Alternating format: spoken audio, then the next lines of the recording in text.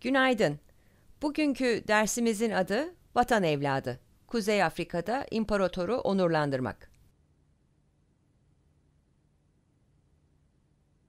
Kimdi bu vatan evladı?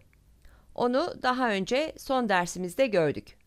Adı Lucius Septimius Severius'tu ve Roma'nın milattan sonra 193 211 yılları arasındaki imparatoruydu. Lucius Septimius Severius'u burada Mısır'da ele geçen, şimdi Berlin'de bir müzede bulunan bu olağanüstü yuvarlak ahşap boyamada ailesiyle birlikte görüyoruz. Resmin sağında Septimius Severius'u görüyorsunuz. Solda meşhur peruğu ve incileriyle karısı Julia Domna. Altta ise oğulları yer alıyor. Sağda burada Karakalla ve Senato'nun ölümünden sonra aldığı Damnatio Memoriae kararı nedeniyle yüzü silinmiş olan Geta. Julia Domna'nın Suriyeli olduğunu ve Basianus adında bir rahibin kızı olduğunu öğrendik. Septimius Severius da Kuzey Afrika'da doğmuştu. İtalya dışında doğmuş olan üçüncü imparatordu.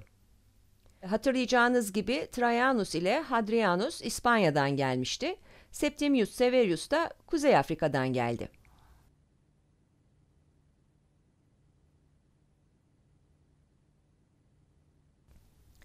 Tahta geçip imparator olduktan sonra tüm vatan evlatları gibi o da vatanında onurlandırıldı. Leptis Magna onun döneminde belirgin bir şekilde yenilendi. Bugün sözünü etmek istediğim konu da bu yenilenme ve Leptis Magna'nın genel olarak tarihi ve mimarisi. Fakat o konuya geçmeden bu coğrafyada Romalılar gelmeden önce neler yaşandığını bilmemizde yarar var. Dönem ödevi olarak İtalya dışından, eyaletlerden konu ya da şehir planı seçenleriniz zaten biliyordur.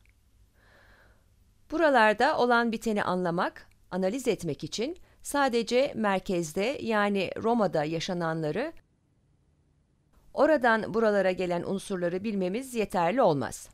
Aynı zamanda o yapının inşa edildiği yerin yerel kültürünü, Romalılardan önceki uygarlığını da bilmemiz gerekir.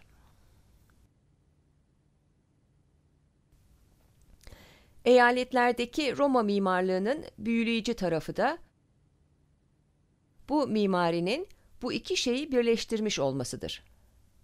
Burada sadece Roma'dan gelenler söz konusu değildir. Bir de Romalı unsurlarla karışan yerel unsurlar vardır. Böylece eyaletlerin her birinde ortaya kendine özgü özellikler çıkar. Sonuç olarak incelediğimiz bölgeyi yani bugünkü konumuz olan Kuzey Afrika'yı anlamak kesinlikle hassas bir öneme sahiptir.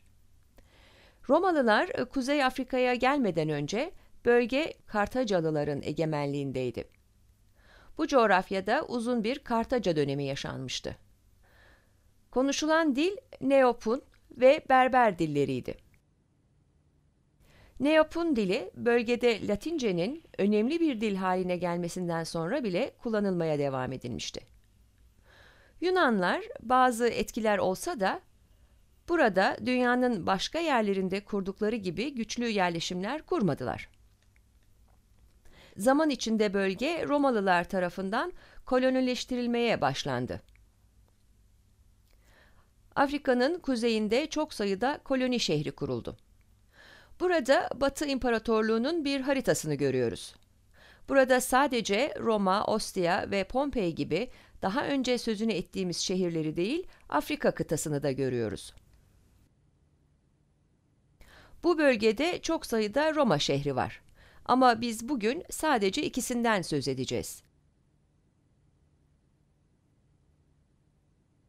Burada bulunan Timgat yerleşimi ve Leptis Magna yerleşimi. Harita önümüzdeyken lütfen Leptis Magna'nın deniz kıyısında olduğunu not edin.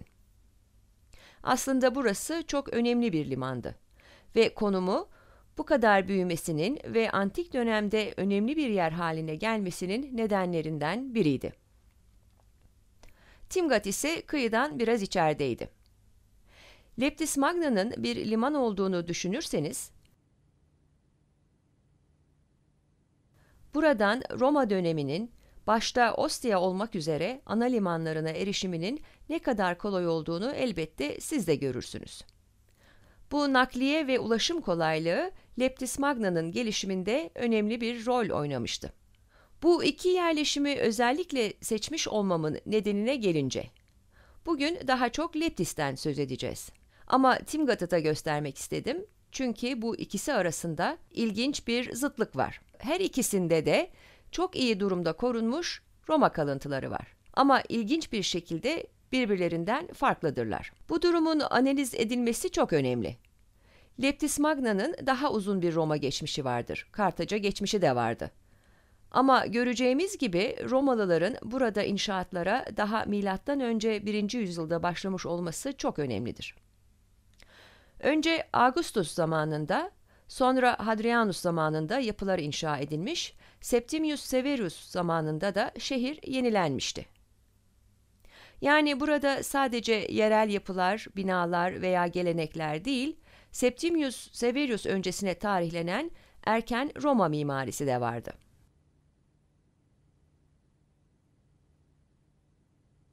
Timgat'ta ise her şey sıfırdan yapıldı.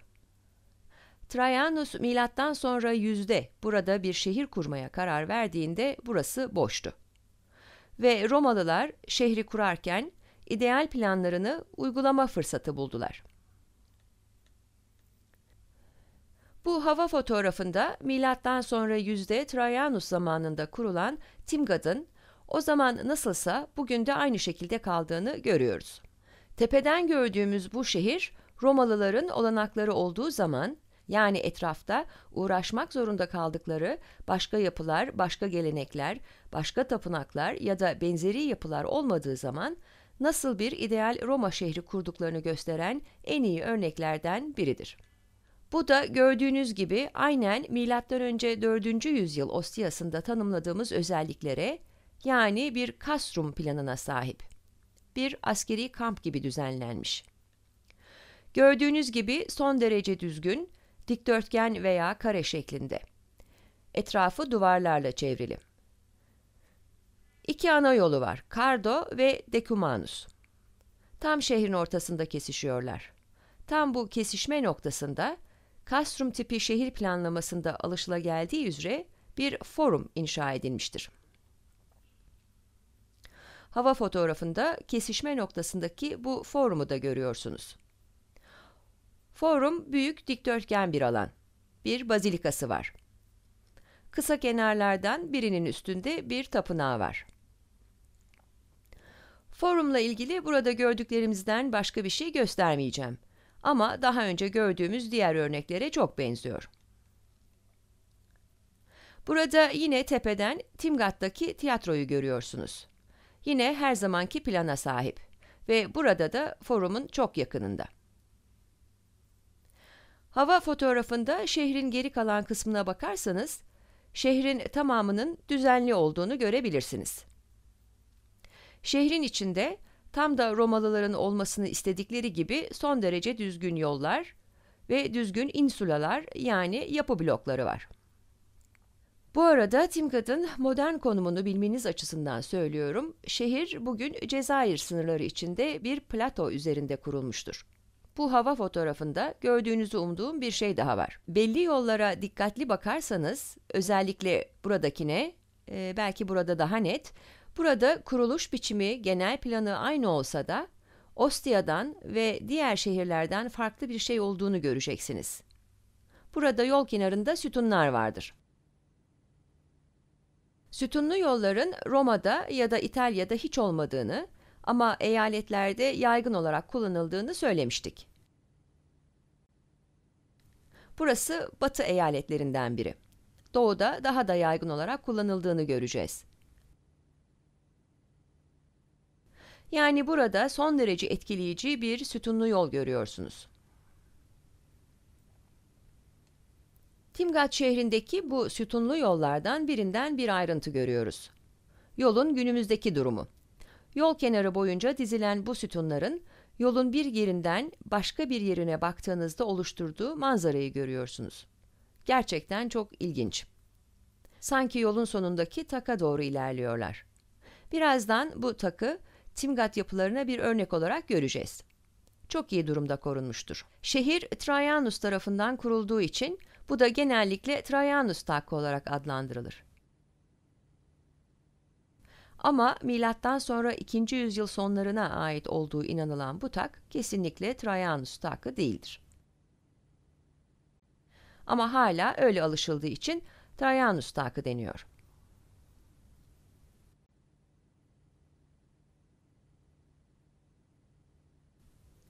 Burada takın günümüzdeki durumundan bir ayrıntı görüyoruz. Bunu geçen ders gördüğümüz Forum Romanum'da Septimius Severius'un doğuda Partlara karşı kazandığı zaferin onuruna inşa edilen ve erken 3. yüzyıla tarihlenen Septimius Severus takı ile kıyaslamak sanırım ilginç olur.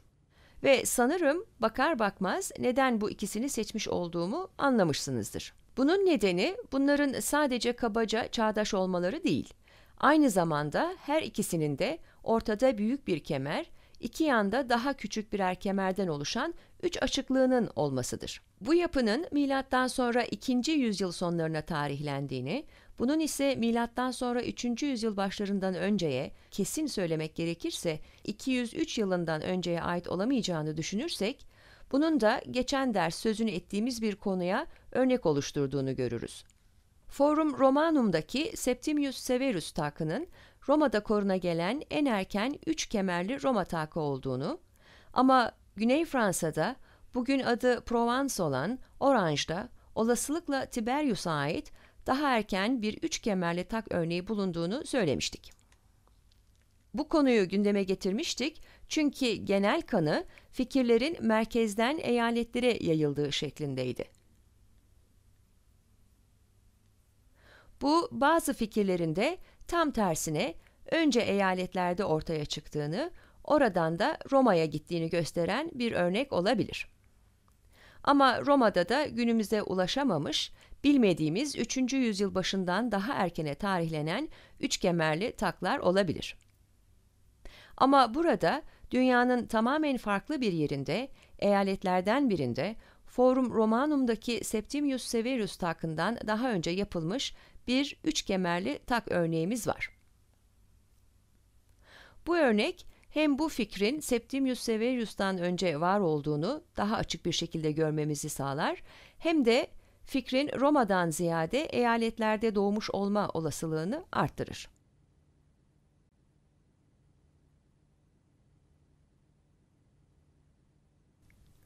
Bu takla Forum Romanum'daki Septimius Severus takı arasındaki diğer önemli fark,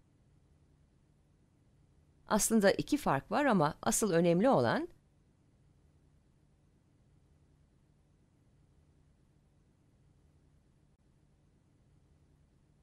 bu taktaki görsel efektlerin çoğunun sütun, niş, alınlık gibi arkitektonik unsurlara dayanıyor olmasıdır. Roma'daki Septimius Severus takında dışa taşkın sütunlar gibi unsurlar da kullanılmış ama burada bu efektler geniş ölçüde üzerindeki figürlü kabartmalarla sağlanmıştır. Küçük kemerlerin üstündeki paneller, frizler her yer kabartmalarla bezelidir. Burada ise bunu görmüyoruz. Belki bunun da bazı heykel bezemeleri vardı.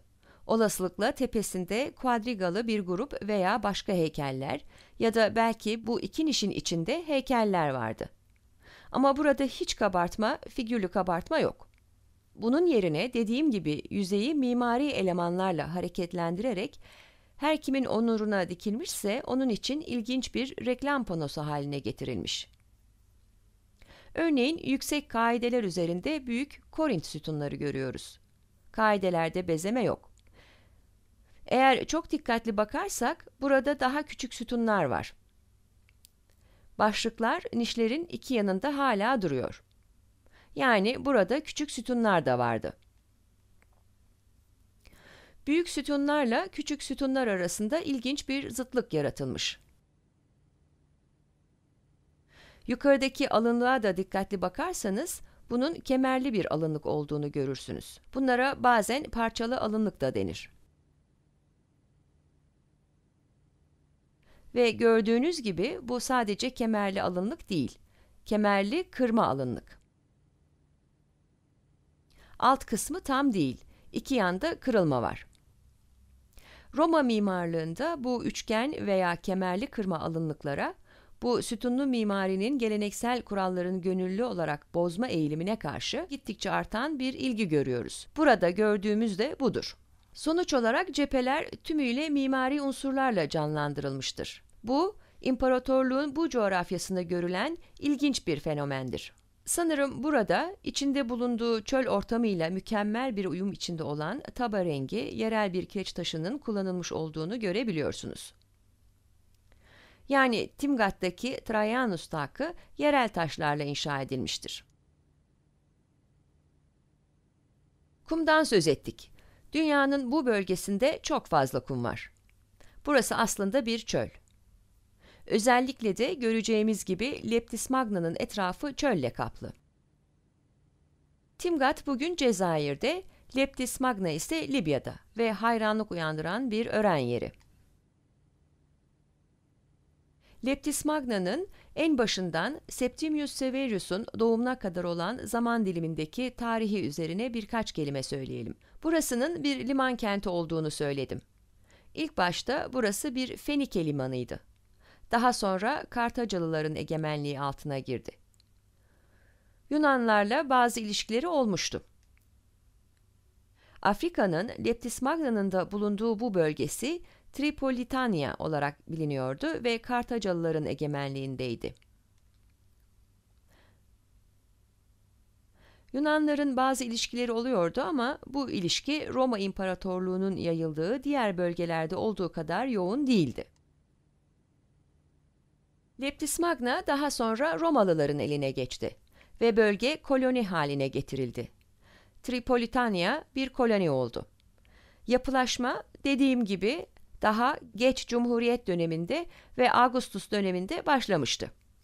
Augustus dönemi mimarlığından korunan çok önemli bir yapıyı göreceğiz. Hadrianus zamanında da Leptis Magna'ya olan ilgi devam etti ve şehre yeni yapılar eklendi.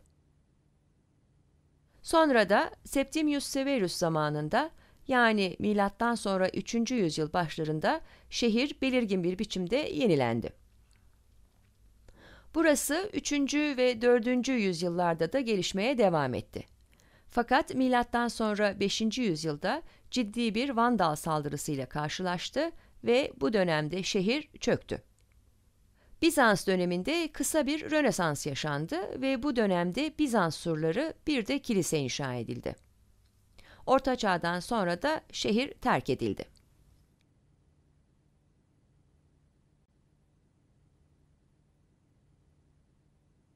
Ardından hazine avcılarının taşları, heykelleri söküp götürmekten çekinmedikleri bir yer haline gelmiştir.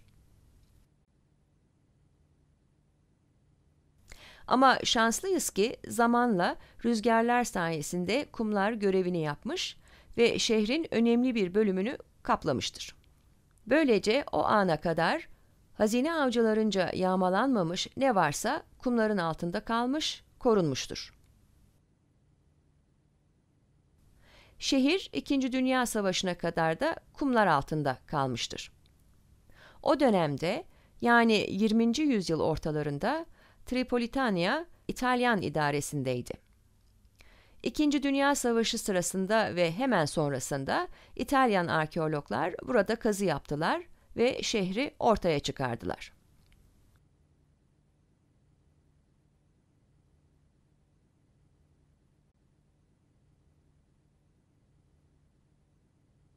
Bugün Leptis Magna'ya giderseniz buna benzer bir manzara görürsünüz. Bu Leptis Magna'da Septimius Severus zamanında yapılan ve Severus Forumu olarak adlandırılan forumun bir hava fotoğrafı. Gördüğünüz gibi bu da büyük güzeldirlerden biri. Olağanüstü geniş. Ama gördüğünüz gibi çok iyi durumda değil. Çoğu yıkılmış. Bugün yapı içinde etrafa dağılmış çok sayıda sütun, entablatür, kemer parçaları gibi parçalar görüyorsunuz. Ama göreceğimiz gibi elimizde yapının antik çağda nasıl bir yer olduğunu anlamamıza yetecek kadar ipucu var.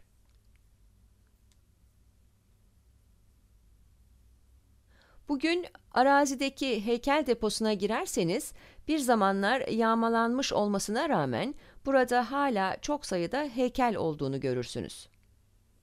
Aslında çok ilginç. Bakın tam ortada bir portre var. Kim bu?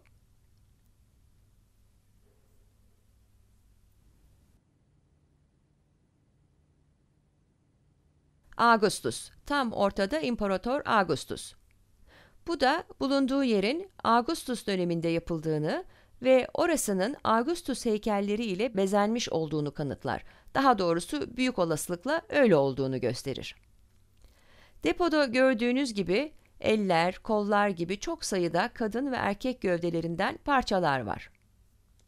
Bu da şehrin parlak döneminde tanrı, tanrıçaların yanı sıra imparator ailelerinin, yerel magistratların çok sayıda heykeliyle yoğun bir biçimde bezeli olduğunu göstermektedir.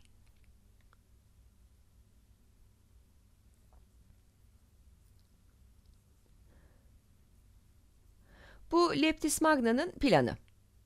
Antik dönemde olasılıkla böyleydi. Buraya bakarsanız bunun bir liman kenti olduğunu rahatlıkla anlayabilirsiniz. Bir liman yapılmış. Burası Akdeniz. Nehrin denize karıştığı yer. Nehrin hemen altına bakarsanız kabaca yuvarlak bir alan görürsünüz. Orası Leptis Magna'nın limanı. Portus'taki Claudius limanından çok da farklı değil. Ve milattan önce 1. yüzyıldan itibaren Septimius Severus dönemi sonlarına kadar şekillenen şehrin geri kalanını görüyorsunuz. Dikkatli bakarsanız yapıları seçebilirsiniz. En üstte limana en yakın olan eski forum. Buradan kısaca söz edeceğiz. Buradan sola doğru giderseniz tiyatroyu görürsünüz. Onu görmesi kolay. Tiyatro Augustus zamanında yapılmış. Tiyatronun sağında iki tane yuvarlak görüyorsunuz. Orası da yine Augustus zamanında inşa edilmiş olan pazar yeri. Burada aşağıda büyük bir hamam yapısı var. Hadrianus zamanında yapılan imparatorluk hamamı tipinde bir hamam. Hamamın hemen üstünde forumu görüyorsunuz. Bazilika, tapınak, tüm bunlar Septimius Severus zamanında yapılmış. Burada altta Hadrianus hamamının solunda yollardan biri üzerinde Septimius Severus onuruna inşa edilen bir tak var. Bugün bu yapıdan da söz edeceğiz. Augustus dönemi kalıntıları ile başlamak istiyorum. Leptis Magna'dan iki Augustus yapısı göreceğiz. İlki pazar yeri, diğeri tiyatrodur.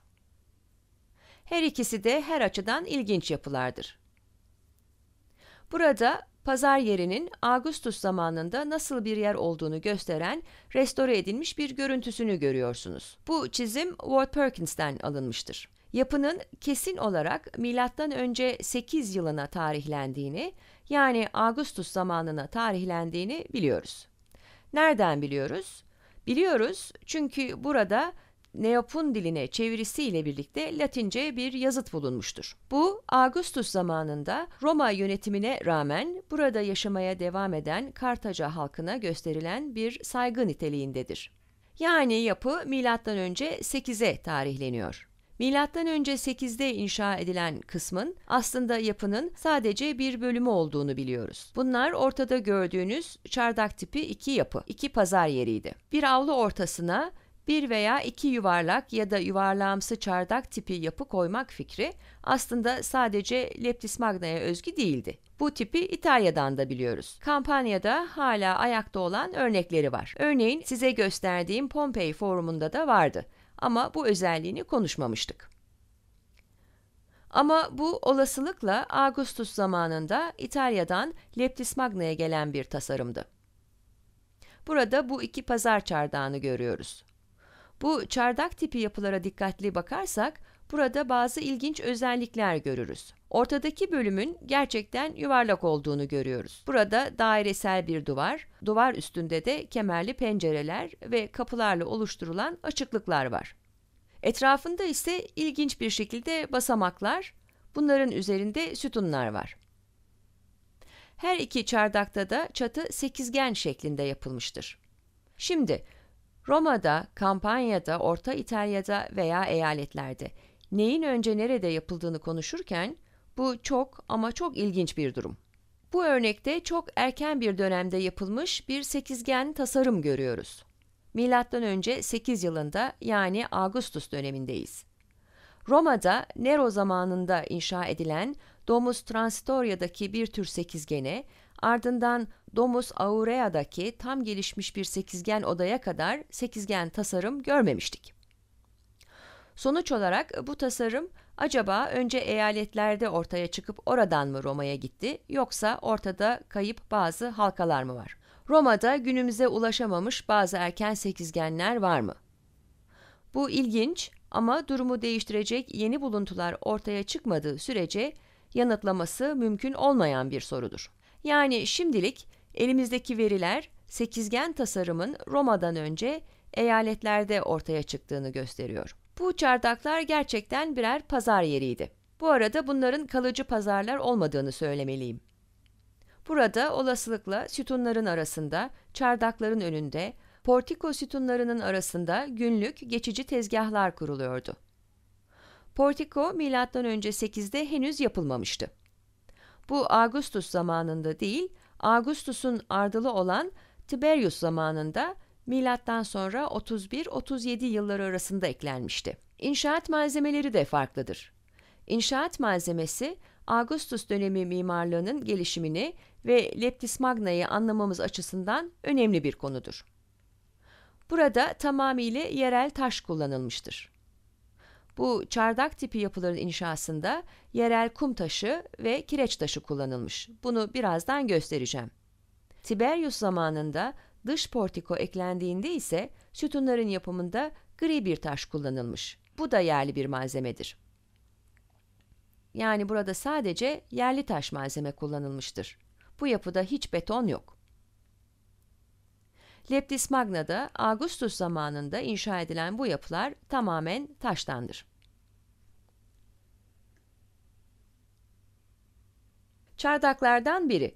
Gördüğünüz gibi çok iyi durumda korunmuştur. Ve yine gördüğünüz gibi çardakların yapımında kullanılan malzeme son derece çekici olan bu yerli kum taşı ya da kireç taşıdır. Alanı çevreleyen ve yine yerel bir taştan yapılmış olan gri sütunlarla arasındaki renk zıtlığını görebiliyorsunuz.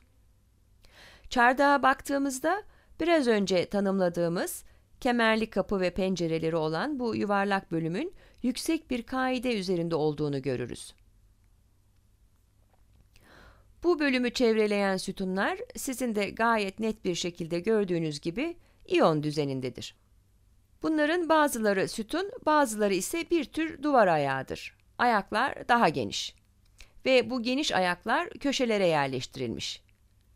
Mimarların bu sekizgen yapıda köşeleri dönmek için nasıl bir çözüm ürettiklerini, bunun için köşelere daha geniş, iki yana taşan ayaklar yerleştirdiklerini görmek ilginç. Burada hepsinde değil ama bazı sütunların arasında taş sekiler olduğunu görebiliyorsunuz. Bir saniyeliğine geri dönmeme izin verin. Çardakların yani Makella'nın M-A-C-E-L-L-A bu arada bu Latince adı tekili Makellum M-A-C-E-L-L-U-M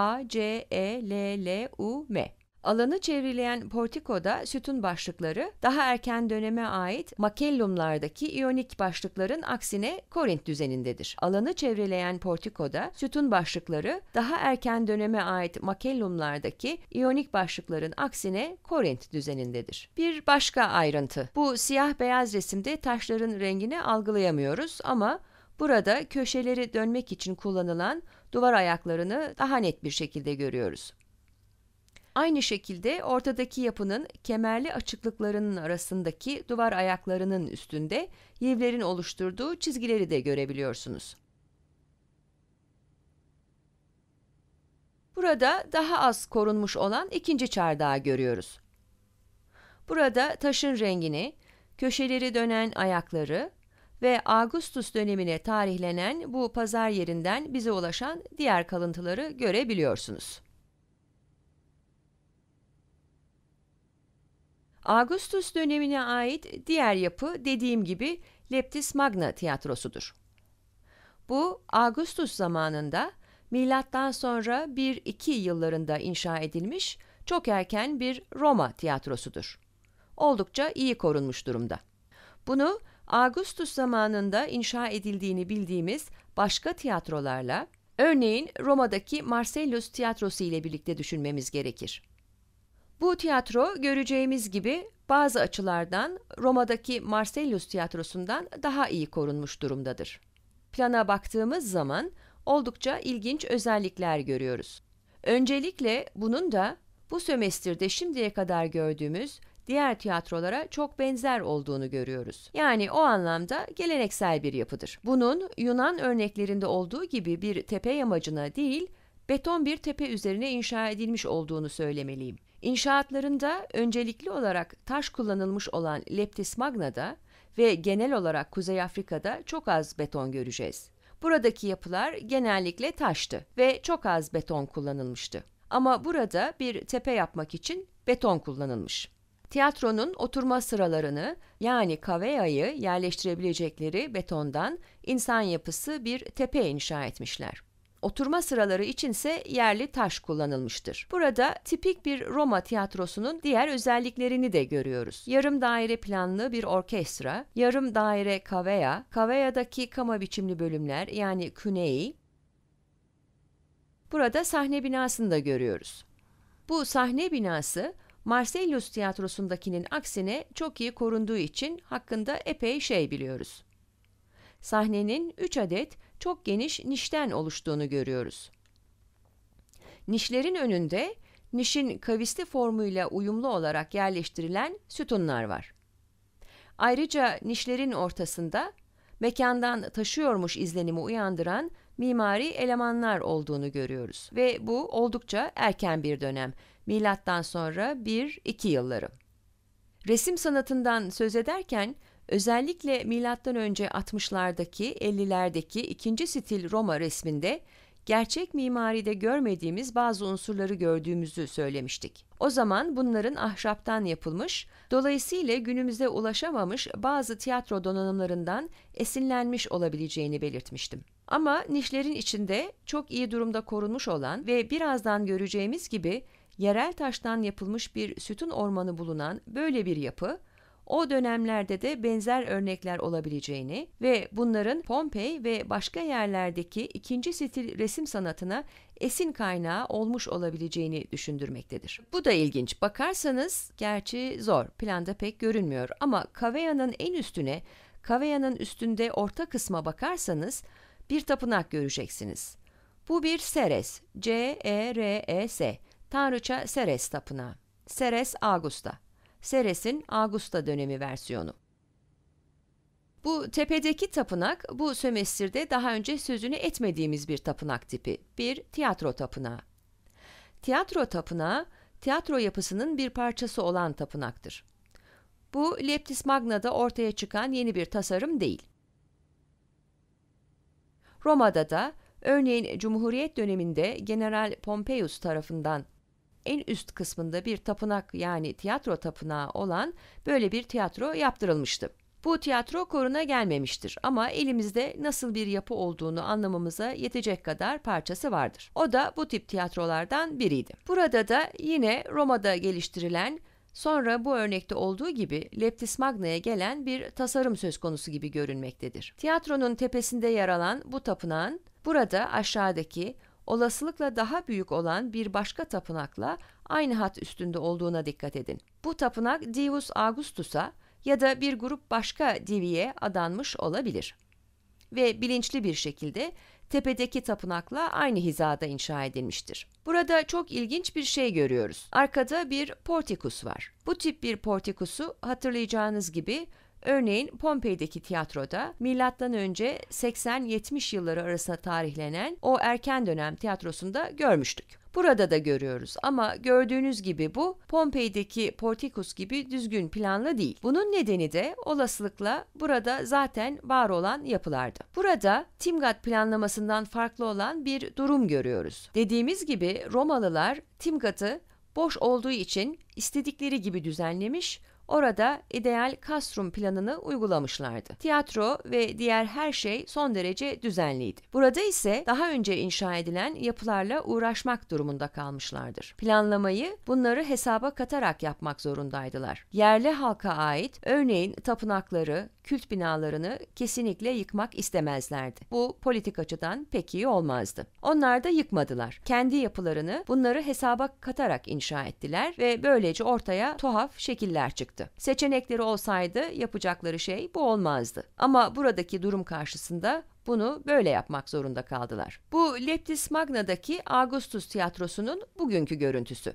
Burada yine Kaveya'da olduğu gibi sütunlarda da yerli bir taşın kum taşı veya kireç taşının kullanıldığını görüyoruz. Ama tekrar belirtelim, kavea beton bir temel üzerine oturuyordu. Burada daha önce saydığımız tüm özellikleri görüyoruz. Üç büyük niş, bize doğru taşan sütunlu kare elemanlar. Burada ilginç bir sütunlu mimari manzarası yaratılmıştır. Ve ikinci stil, Roma duvar resmine esin kaynağı olan geçici ahşap sahne düzenlemeleri hakkında da bir fikir vermektedir. Bakın bu ilginç. Bu Leptis Magna tiyatrosunda bulunmuş ve son derece iyi durumda korunmuş bir yazıt. Hala da orada. Gördüğünüz gibi bu Latince yazıtın altında Augustus dönemine ait pazar yerindeki gibi Neopun dilinde çevirisi vardır ne yazdığını bilmek ilginizi çekebilir. Diyor ki, alıntı yapıyorum. Tanrısal Sezar'ın oğlu, vatanın babası Sezar Augustus, yani Julius Caesar'ın oğlu Augustus diyor ve bu bize bunun bir Augustus yapısı olduğunu gösteren kanıtlardan biri. Pontifex Maximus iken, yani yüce rahipken, Roma çağında devlet ve din işleri birlikte yürütülüyordu ve Augustus hem imperator yani imparator hem de aynı zamanda Roma'nın yüce rahibiydi. Yani Augustus, Pontifex Maximus iken 24. kez tribunus yetkisini aldığında, 13. kez konsül seçildiğinde Himilko Tapapius oğlu ülkesini donatan, demek ki sadece bunu değil başka yapılarda inşa ettirmiş, ülkesini donatan barışsever, rahip Süfit ve kutsal emanetlerin prefekti Anabal Rufus bu yapıyı kendi parası ile inşa ettirdi ve adadı.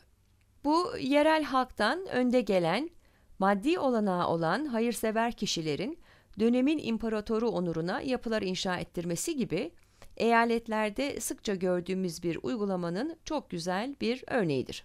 Bu adının bir yapıda anılmasıyla adının cömertliğinin, hayırseverliğinin gelecek kuşaklar tarafından da bilinmesini, aynı zamanda şehirlerine tiyatro gibi, hamam gibi gereksinim duyulan bir yapı katmak isteyenlerin yaptığı bir şeydi.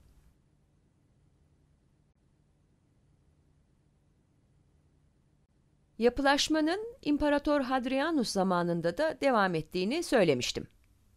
Hadrianus döneminde Leptis Magna'ya önemli bir yapı, çok büyük bir hamam eklendi. Bu Kuzey Afrika'da koruna gelen ikinci büyük hamam yapısıdır.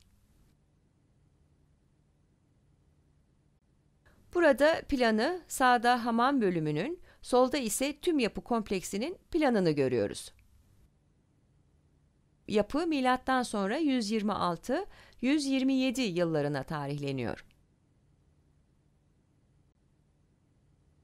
Plana hızlıca bakarsak, burada sadece sağdaki planda da görülen hamam mekanlarını değil, yapının palestrasını da görürüz.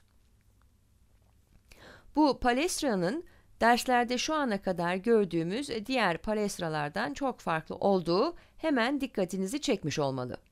Neredeyse bir hipodroma benziyor. Gerçi bu firkete şeklinde değil, iki ucu da kavisli.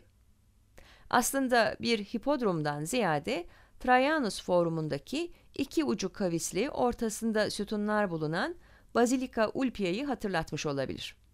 Burada en üst kısmında da iki tane apsis var.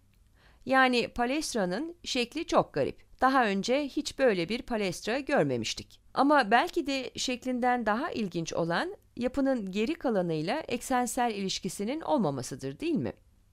Eksen dışında kalıyor. Yapının geri kalanıyla ne eksen ne de simetri ilişkisi vardır. Burada da Augustus tiyatrosunun portikusundaki gibi bir durumun söz konusu olduğu neredeyse kesindir. Yani burada da onları bunu eksen dışında yapmak zorunda bırakan bir yapı olmalıydı.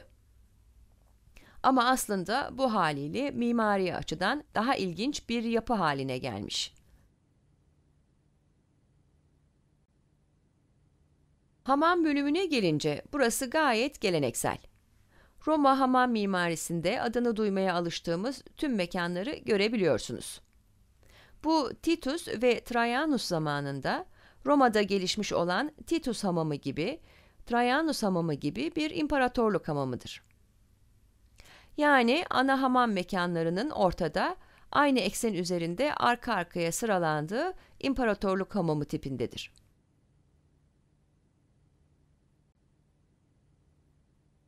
En tepede sütunlarıyla ya da kaideler üstündeki sütunlarıyla ne görüyoruz? Nedir bu? Natatio. Evet, natatio. Frigidarium,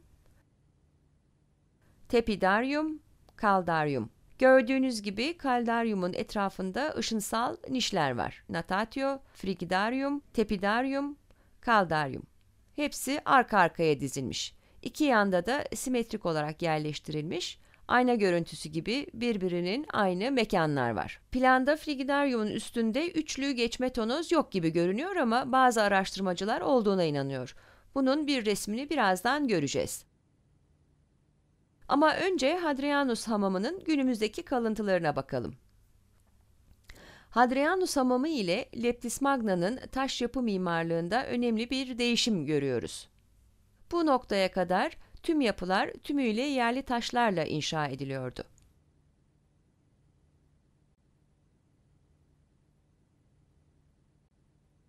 Ama Hadrianus zamanında birdenbire Leptis Magna yapılarında dünyanın farklı yerlerinden ithal edilmiş mermerler kullanılmaya başlandığını görüyoruz. Hadrianus'un gezilerini, onun enternasyonel yaklaşımını düşündüğümüzde sanırım bu hiç de şaşırtıcı değildir. Bu yapıda yerli taş kullanılmış ama aynı zamanda Yunanistan'dan, Anadolu'dan hatta İtalya'dan ithal edilen mermerler de kullanılmış. Ve yapı yani Leptis Magna Hadrianus hamamı harika bir yapıya dönüştürülmüştür. Bu Leptis Magna yapılarında kullanılan inşaat malzemeleri açısından çok önemli bir değişimdir. Bu Hadrianus hamamının Frigidaryumunun en azından bazı araştırmacılara göre nasıl bir yer olduğunu gösteren bir çizim. Bunun da aynen Roma'daki imparatorluk hamamlarının frigidaryumları gibi olduğuna inanılıyor. Geçen ders gördüğümüz daha geç döneme ait olan Karakalla hamamını düşünün. Orada da iki yanda duvara bitişik sütunlarla desteklenmiş üçlü geçme tonoz vardı. O da çok yoğun bezemelere sahipti. Hamamı bu şekilde restore edenler, Karakalla hamamındaki gibi frigidaryumlardan esinlenmiş olabilir. Ama Leptis Magna'da bu tip, bu ölçekteki yapıların inşaatında çok az beton kullanıldığını biliyoruz. Bu ölçekte bir tonoz sistemi inşa etmek için beton kullanmak zorundasınız.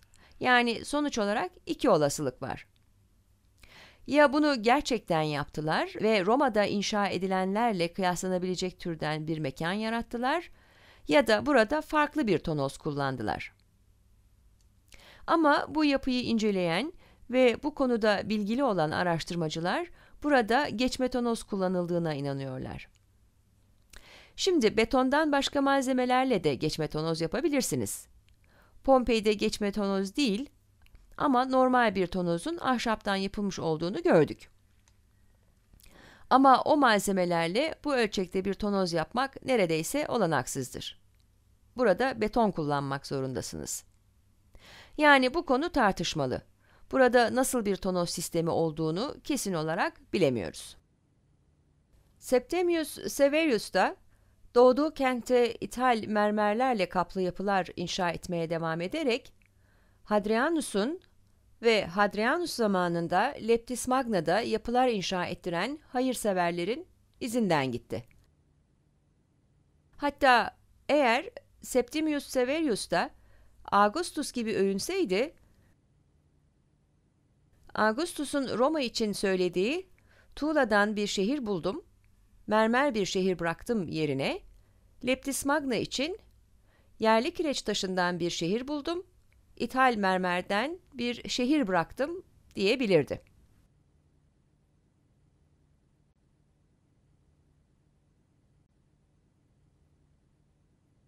Çünkü bu tarihten itibaren Severus dönemi Leptis Magnus'ında bütün yapılarda ithal mermer kullanıldığını görüyoruz. Bunlardan bir dizi örnek göstereceğim. Önce Severus dönemine ait bir çeşme yapısıyla yani Leptis Magna'nın nimfayumuyla başlamak istiyorum.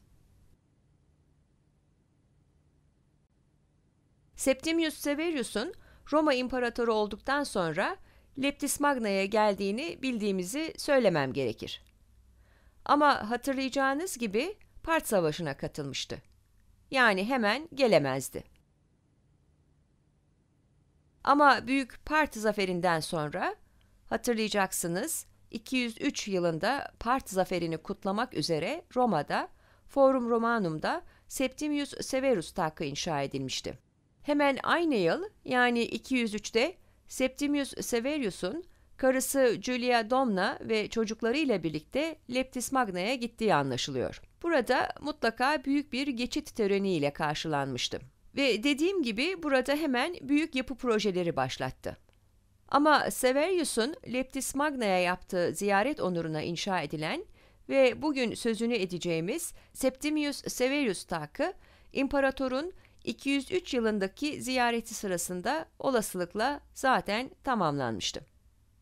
Tak 203 yılına tarihlenmektedir. Aynı tarihlerde diğer yapıların da inşasına başlandı. Bu yapıların bir kısmı ölümünden sonra oğlu Karakalla tarafından bitirilmiştir. Leptis Magna'da Severus zamanında inşa edilen yapılardan biri çeşme ya da nimfayumdur. Milattan sonra 211 yılına tarihlendiği düşünülüyor. Burada bir planını görüyorsunuz ve hemen neyin yanında? Buradaki nedir? Palestra. Harika. Kahve işe yaramış. Buradaki çıkıntı yapan dış bükeyli ile palestra.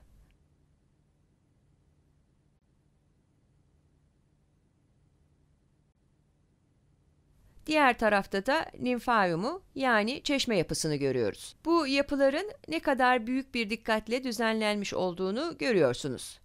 Mimarlar e, bu çeşmenin yerini, diğer yapılarla ilişkisini, bu iç bükey dış bükey zıtlığı göz önüne alarak özenle seçmişler.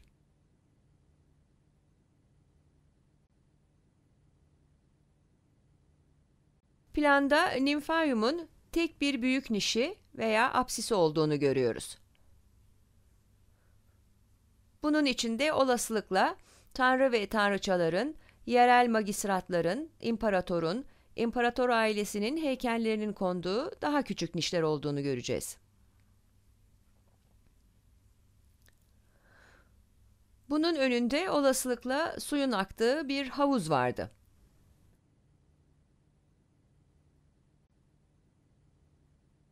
Ortadan veya nişlerden heykellerin arasından çıkan su aşağıdaki bu havuza akıyordu. Havuzun iki yana doğru açıldığını görüyorsunuz. Yapıyı cazip hale getiren ilginç bir form. Şimdi Leptis Magna gibi bir şehir neden bu kadar büyük bir çeşmeye gereksinim duymuştu? Tabii bu bir su kaynağı olarak işe yarıyordu. Ama sanırım burada ondan fazlası var. Olasılıkla bu bir tür gösteriş yapmak için tasarlanmış bir yapıydı. Günü gelir yaptığına değer. Her şehrin bu albeneli havuz gibi zamanı geldiğinde gösteriş yapmak için kullanabileceği bir yapıya ihtiyacı olabilirdi. Leptis Magna da bu konuda bir istisna değildi. Ve Leptis Magna da Severus döneminde bu gösterişli havuzu inşa ettiler. Burada yapının bugün ayakta kalan kısmını görüyoruz. Aslında oldukça iyi korunmuş durumda. Büyük nişi, daha doğrusu büyük nişin bir kısmını görüyoruz.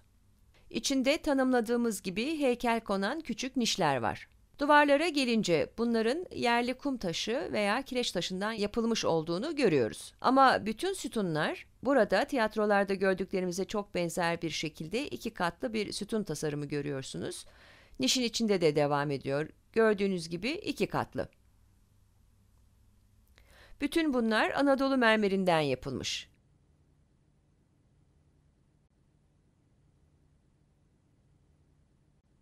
Yani burada Anadolu'dan ithal edilmiş mermer kullanılmış. Anadolu'dan mermerlerle birlikte buraya bunları işlemeyi bilen taş ustalarının da çalıştırılmak üzere getirildiğine inanıyoruz. Yani bu yapıda Leptis Magna'da Severus zamanında yapımında ithal mermer kullanılan örneklerden birisidir.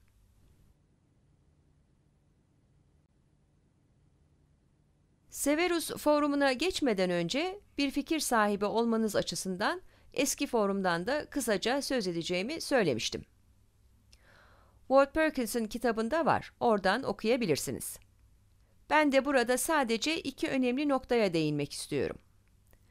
Biri burada daha erken bir forum olduğu gerçeğidir. İnşasına geç Cumhuriyet döneminde başlanmış Ağustos zamanında devam edilmiştir. Gayet anlamlı bir şekilde limana çok yakın bir yere yapılmış. Burada da gördüğümüz diğer tüm forumlarda olduğu gibi büyük dikdörtgen bir alan söz konusudur. Altta burada bir bazilikası var. Şekil ve plan bakımından Pompei'deki gibi daha önce gördüğümüz bazilikalara çok benziyor. Ama bu tam olarak bir kare veya dikdörtgen değil.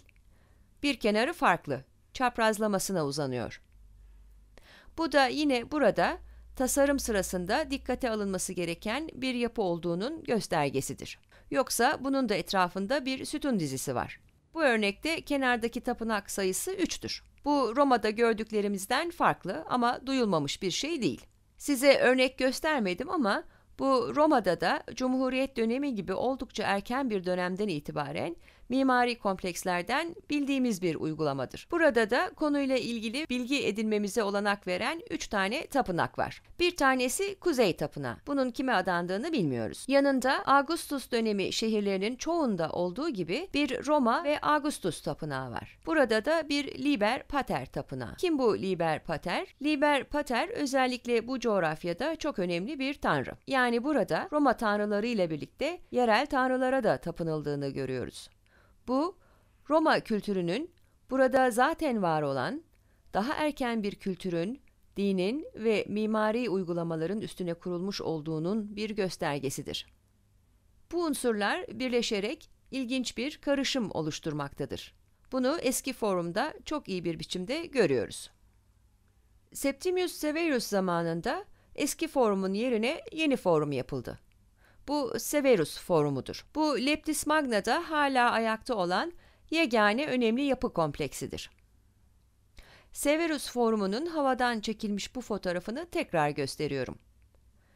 Milattan sonra 216 yılında yapıldığına inandığımız bu forum aslında 216 yılında Karakalla tarafından tamamlanmıştır. Şimdi Leptis Magna ve buradaki inşaat teknikleri konusunda daha fazla şey bildiğimize göre bu fotoğrafa baktığınızda daha önce fark etmediğiniz bir şeyi şimdi sanırım görmüşsünüzdür. Örneğin forumun içindeki sütun parçalarına baktığınızda burada yerel kireç taşı ile değil, ithal bir malzeme ile karşı karşıya olduğumuzu hemen göreceksiniz. Bunlara özellikle de ön plandakilere baktığınız zaman bunların hafif pembe renkli olduğunu görürsünüz. Bu pembe renk bunların granit olduğunu söylemektedir. Bu Mısır'da çıkarıldığını bildiğimiz pembe damarlı granittir. Yani burada da Severus dönemi yapılarında kullanılmak üzere dünyanın farklı yerlerinden ithal taşlar görüyoruz. Leptis Magna'daki Severus Forumu'nun planı bunun gerçekten ilginç bir yapı olduğunu gösterir. Roma'daki erken forumlardan özellikle de Trajanus Forumundan esinlenilmiş ama birçok ilginç yönden ondan ayrılır. Bu yapı sadece Leptis Magna'da Severus zamanında nasıl bir yapı inşa edildiği konusunda değil, aynı zamanda Septimius Severius eğer Roma'da bir forum yaptırsaydı, bunun nasıl bir yapı olacağı konusunda da bir fikir verir. Yani bu açıdan da ilginç bir yapıdır. Hatırlayacaksınız Roma'da inşa edilen son imparatorluk forumunun Trajanus forumu olduğunu söylemiştim. Ondan sonra Roma'da başka forum yapılmamıştır.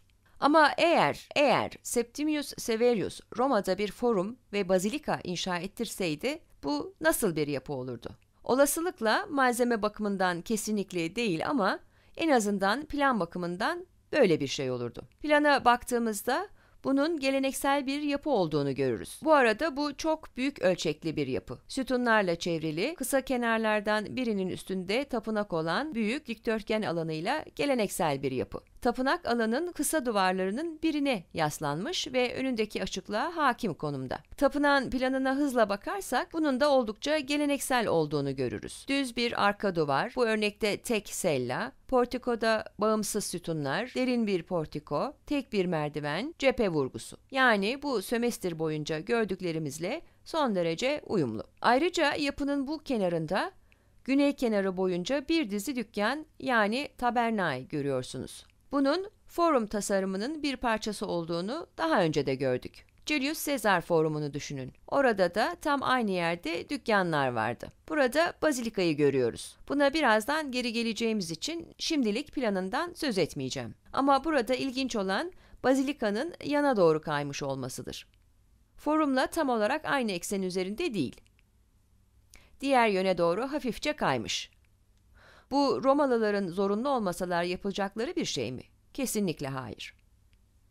Burada yine olasılıkla dikkate alınması gereken daha erken bir yapı vardı ve böyle yapmak zorunda kaldılar.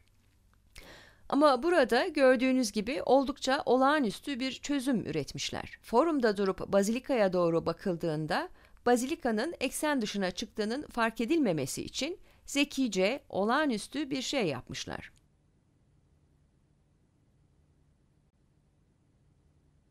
Buraya forumla bazilika arasına bir dizi kama biçimli dükkandan oluşan bir geçit yapmışlar. Dükkanlar bir uçta dar, diğer uca doğru genişliyor. İçeride durup baktığınızda birazdan bir resim göstereceğim. Tamamen düz bir hat görüyorsunuz ki önden zaten düz. Arkada ne olduğunu göremezsiniz. Yani burada durduğunuzda bu apsisten sütunların arasından geçip bazilikaya girerken bazilikanın planın geri kalanıyla aynı eksende olmadığını algılayamazsınız. Severus formunu tasarlayanların ürettiği zekice bir çözüm.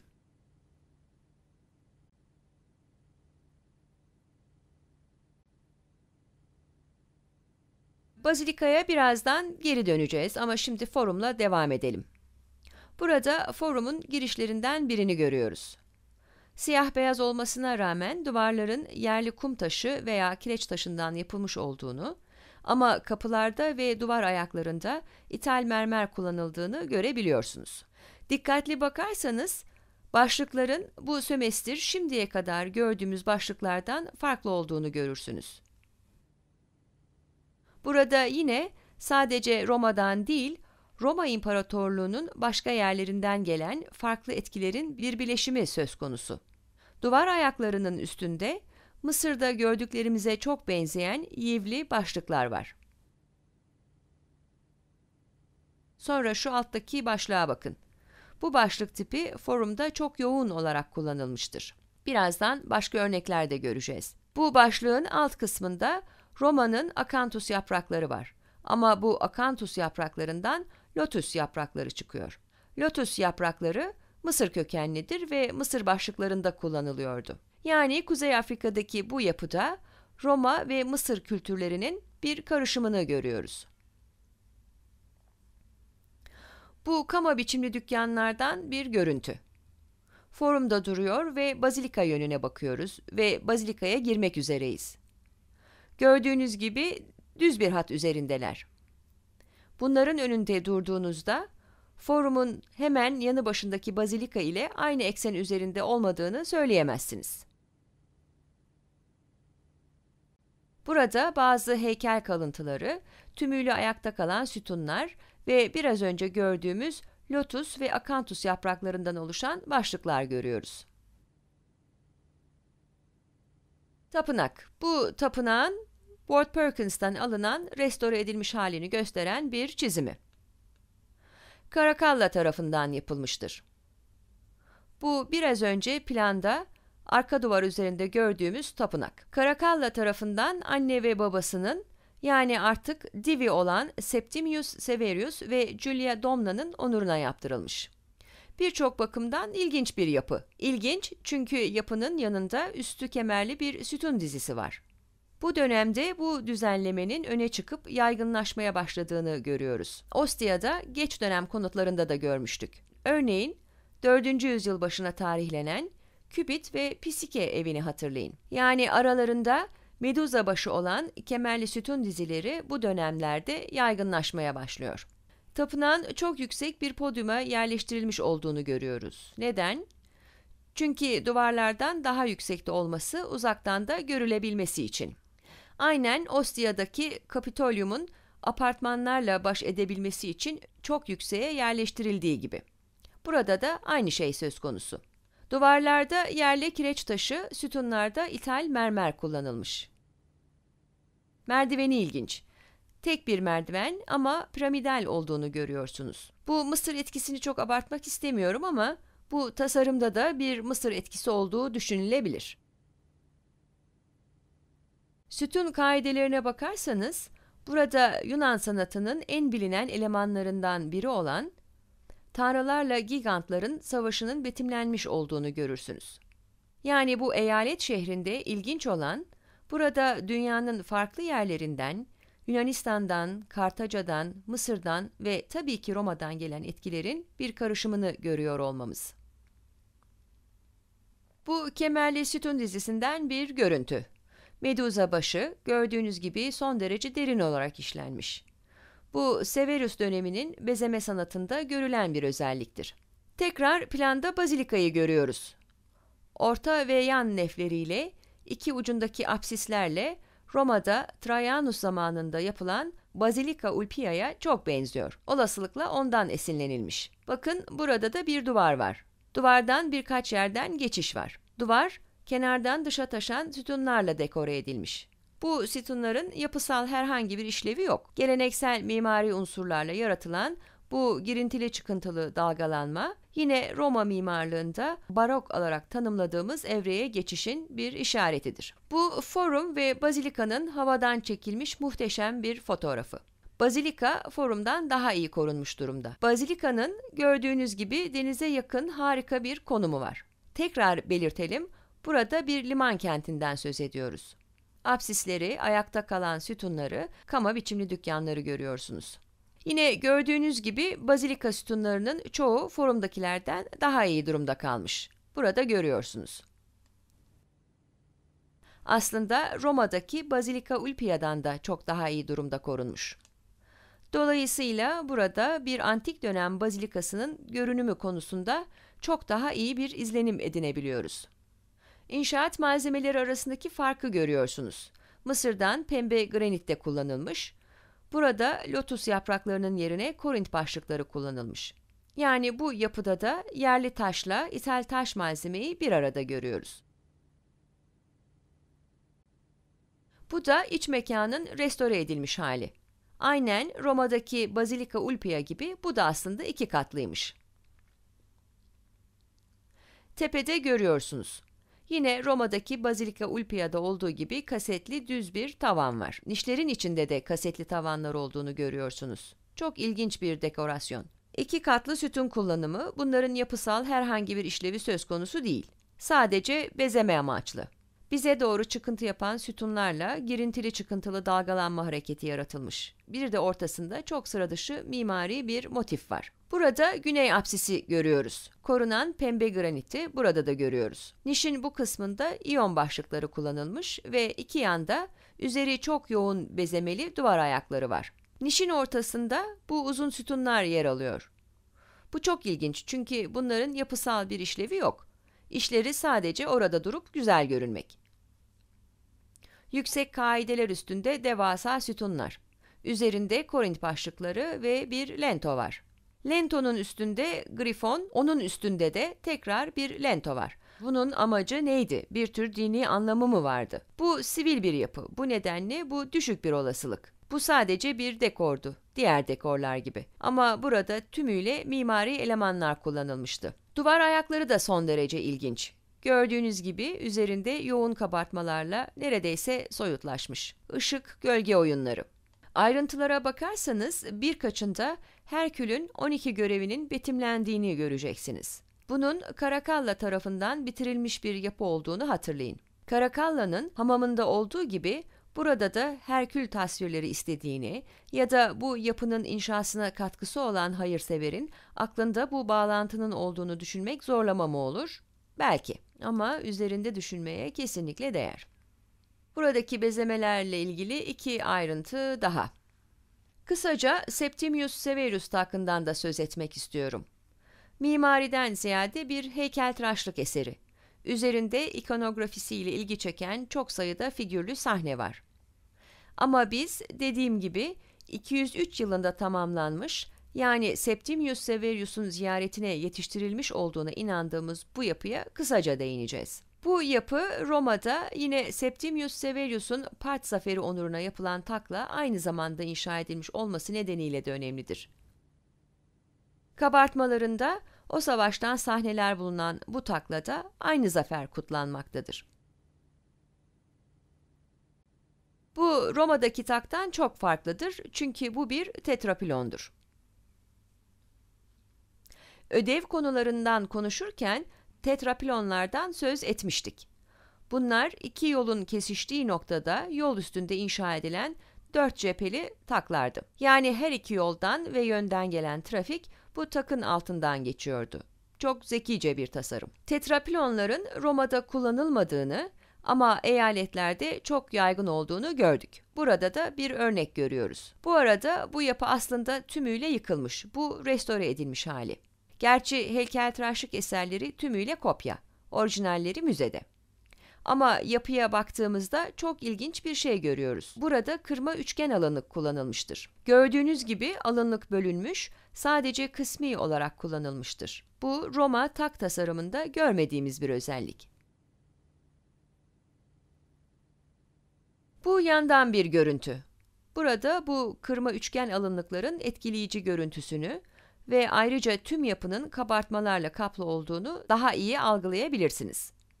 Burada da yapı, bazilikada gördüğümüz duvar ayaklarında olduğu gibi bezemelerle neredeyse kütlesinden arındırılmış. Kabartmalardan çok hızlı iki ayrıntı göstermek istiyorum. Tepede zafer arabasının içinde Septimius Severius ve iki oğlu betimlenmiş. Burada Septimius Severius oğlu Karakalla ile el sıkışıyor sanki ona yetki verir gibi. Ortada Geta duruyor. Geta henüz hayatta ve buradan silinmemiş. Hemen onların yanında Julia Domna'nın Peru ile harika bir tasviri onlara bakıyor. Ama buradaki figüre bakın. Kim bu? Elinde asası ile Herkül. Hemen Karakalla'nın arkasında duruyor. Burada yine Karakalla ile diğer benliği arasındaki bağlantıyı görüyoruz. Bugünkü dersimizi Leptis Magna'daki en sevdiğim yapıyla bitirmek istiyorum. Aslında tüm sömestr gördüğümüz yapılar arasında en sevdiklerimden biri. Çünkü bu eşsiz bir yapı. Bu Leptis Magna'daki av hamamı olarak adlandırılan yapı. Milattan sonra 2. yüzyıl sonu 3. yüzyıl başlarına tarihleniyor. Burada Ward Perkins'ten alınan aksonometrik bir çizim görüyoruz. Birazdan göreceğimiz gibi çok iyi korunmuş bir yapı. Burası her açıdan son derece ilginç bir hamam yapısıdır. Öncelikle bu özel bir hamamdır. Sömestr boyunca çok sayıda örneğini gördüğümüz halk hamamlarından biri değildir. Özel hamam derken neyi kastediyorum? Burada Trajanus'un villasındaki gibi villa içinde özel bir hamamdan, tek kişiye ait bir hamamdan söz etmiyorum. Bu şehir içinde özel bir hamam. Ama tek bir kişiye değil, Bir gruba ait, bir meslek grubunun üyelerine ait bir hamam. Bu insanların işinin İtalya'ya satmak üzere Afrika'da yabani hayvanlar yakalamak olduğunu düşünüyoruz. Yani bir anlamda Roma'daki, İtalya'daki amfiteyatrolara malzeme sağlıyorlardı. Onların işi buydu. Bu işten çok iyi para kazanmış olmalılar. Bir araya gelip kendilerine birlikte zaman geçirip eğlenebilecekleri, göreceğimiz gibi deniz kıyısında harika bir hamam yaptırmışlar. Burada ilginç olan Leptis Magna'da başka yerlerde çok az beton kullanılmış olmasına rağmen bu yapının beton olmasıdır. Bu nedenle bu yapı gördüğümüz diğer yapılardan hatta Tak gibi, Forum ya da Bazilika gibi Septimius Severus onuruna inşa edilen yapılardan bile daha yenilikçidir. Yenilikçi demekle neyi kastediyorum? Burada betonun sonuna kadar nasıl kullanılmış olduğunu görüyorsunuz. Yapıya sekizgen bir ön avludan giriliyor. Girişteki vestibülün planı sekizgen. Vestibülden dilimli bir kubbesi yani bir tür balkabağı kubbesi olan tepidaryuma giriyorsunuz. Burada daha erken döneme ait Hadrianus yapılarının etkisini görüyoruz. Buradan beşik tonozlu geniş bir mekan olan kaldaryuma geçiyorsunuz. Gördüğünüz gibi buradaki frigidaryum da beşik tonozlu. Bu mekanları mimari açıdan ilginç ve gördüğümüz diğer her şeyden farklı kılan, yani eşsiz olmasına neden olan bu beton tonozların sadece yapının içinden değil, dışarıdan da görünür olmasıdır. Tonozlar yapının dışından da görünmektedir. Dışarıdan bu mekanın beşik tonozlu olduğunu, bunun beşik tonozlu olduğunu, bunun dilimli bir kubbesi olduğunu görebilirsiniz. Bunu diğer yapılarda görmemiştik. Evet, Roma'daki imparatorluk hamamlarında frigidaryumların kubbelerini göz ucuyla algılıyorsunuz. Geçme tonozları dışarıdan hissedebiliyorsunuz ama o kadar. Burada görebildiğiniz gibi değildi. Bu devrimsel nitelikte çok farklı, bu yapıya özgü bir tasarım. Tüm bunları dışarıdan da göreceğiniz son iki resim göstermek istiyorum. Bu siyah beyaz ama dışarıda oluşan geometrik formları net bir şekilde görüyorsunuz. İçeride nasıl bir yapı olduğu açıkça belli oluyor. Pantheon'daki sürprizi anımsayın. Dışarıdan baktığınızda tipik bir Yunan tapınağı gibi görünüyordu. İçeri girdiğinizde ise sizi şaşırtan bir Roma iç mekanıyla karşılaşıyordunuz. Burada ise daha önce hiç görmediğimiz bir şekilde bir anlamda iç ve dış mekan bir araya getirilmiş. Yapının dışında durup baktığınızda iç mekanın nasıl göründüğünü söyleyebilirsiniz. Bunu daha önce hiç görmemiştik. Gerçek anlamda devrimsel bir tasarım. Son bir resim. Biraz solmuş ama elimdekilerin en iyisi bu. Ama sanırım kumsala ve denize karşı şekillenmiş bu silüeti görebileceğimiz etkileyici bir resim. Beşik tonozlar, dilimli kubbe, tüm bunlar içeriden olduğu gibi dışarıdan da görülebiliyor. Çok yenilikçi bir yapı. Ve bu bir imparator tarafından, dönemin imparatoru tarafından ya da imparator onuruna bir hayırsever tarafından yaptırılmamış. Severus dönemindeki yenilenme sırasında inşa edilmemiş. Bu bir grup adamın duygu ve düşünceleriyle şekillenmiş bir yapı. Dersi milattan sonra 2. yüzyıl sonu 3. yüzyıl başlarında yaşamış olan bu adamlar için yaşam epey keyifliymiş diyerek bitirmekten başka ne diyebilirim? Hepinize teşekkür ederim.